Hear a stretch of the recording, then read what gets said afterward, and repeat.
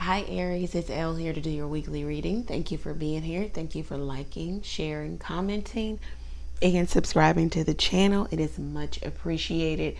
All links are below if you need to get in contact with me.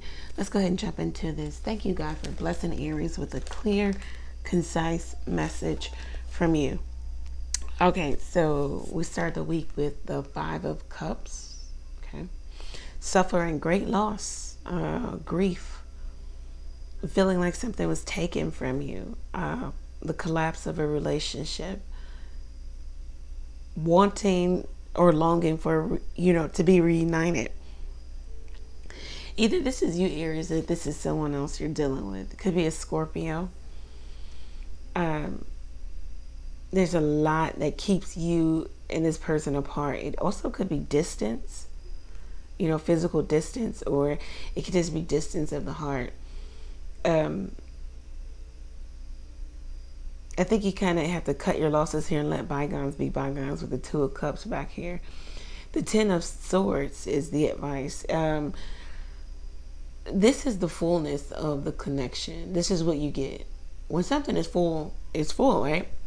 You go to a restaurant, nightclub, anywhere, and they say we're full to capacity. That, that means nothing you know, um, no one's coming out because they're full and uh, no one's coming in. So it's nothing more to be had in this connection. It is what it is. What you see is what you're getting. What you feel is what it is. Um, you need to deal with this. There's like a collapse here, you know, of a maybe even devastation. Um, this could be that somebody lost a job or someone is losing a job someone is um, trying to deal with um, maybe a divorce, a separation, a breakup, or a breakdown in a connection here. Um, with the Six of Cups here, it wants you to, the Six of Cups being the outcome is you need to connect backwards. Talks about ancestry and rootedness. What are you rooted to? If nothing, then that might be something to explore also. You might need to explore your family relationships. Um, it's about finding balance and harmony uh, by way of knowing that you're in an environment where you can be yourself, uh, that you feel comfortable in, that you, you feel a, a, sense of usefulness, of service to. Some of you could um, have never felt comfortable within your family dynamic.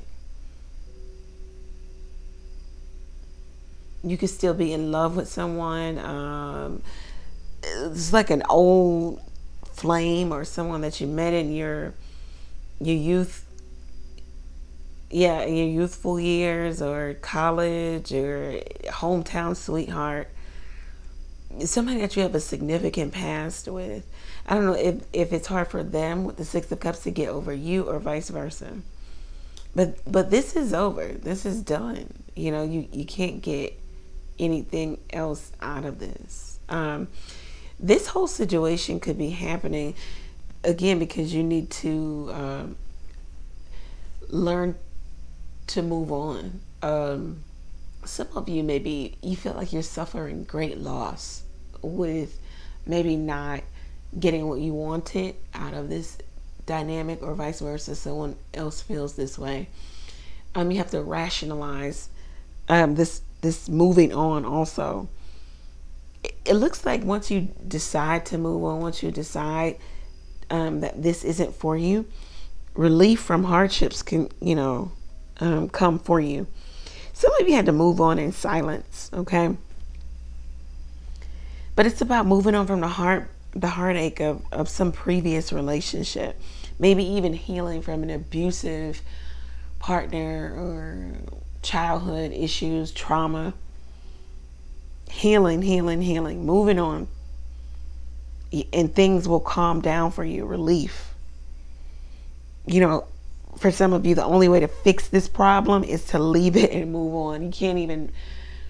Okay, moving on and healing is like the um, the theme of this reading you know, is to leave it alone, move on, and start something new. You have to plot a new course to your happiness because this course that you you had is not working out. So you need to plan use logic and clarity, okay? And that's going to ensure that you have success in love, career, finances, whatever. But you need to leave that that part of yourself, um, that part that is self sabotaging. Um, you need to leave that behind and you need to heal from your old wounds. You haven't healed from old wounds, but you're trying to go into new situations or relationships. The reason why all of this is happening is because there needs to be a level of maturing or maturity happening for you or someone else involved or the both of you.